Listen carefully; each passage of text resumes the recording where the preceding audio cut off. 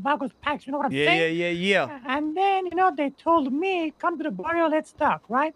So I Okay. went to the barrio. There are some fucking Vagos You rats. smoke on that pack beer? Yeah, well, that's what I'm saying. But anyways, anyway, so I had a talk to Speedy as the leader of the CGB, CG Babes, you know what I'm saying? Right, right. Speedy El Jefe wasn't. Yeah, yeah, el jefe puto.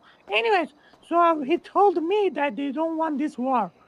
And What? pretty, pretty much, yeah, he told me they don't want this war. And he pretty much told me that he gonna wake up later today and talk to Mr. K and figure out. Uh, What do you mean they don't want this war? They're the ones who fucking started it. What, what, are, what are they talking about? They don't want the war.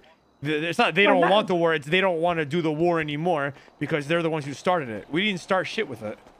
The fuck Yeah, is I know, like, well, I don't know, bro. You know, like, I literally like- called this was gonna happen. I literally said they're gonna wake up tomorrow and they're not gonna want to do this anymore. Just okay. I'm going to. I'm gonna. Okay.